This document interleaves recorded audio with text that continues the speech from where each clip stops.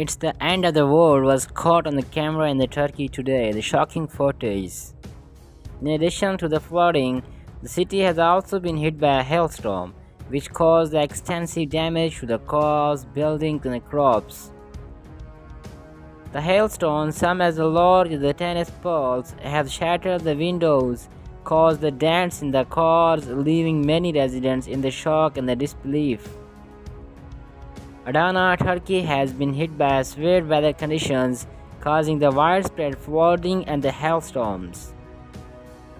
The extreme weather conditions have led to the chaos in the city, with many roads becoming impassable due to the flooding and the debris. According to the local authorities, the heavy rainfall has caused the Seyhan River to overflow, leading to flooding in the low-lying areas of the city. The flooding has damaged several homes and businesses, forcing the many residents to evacuate to the higher ground. Emergency services have been working around the clock to clear the roads and provide assistance to those affected by the severe weather conditions.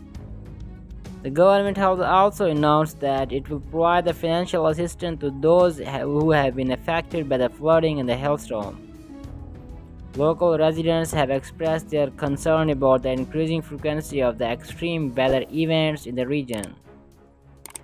So thanks for watching, please subscribe the channel and don't forget to press the bell icon to get the notification of the upcoming next latest news videos from this platform. So thanks.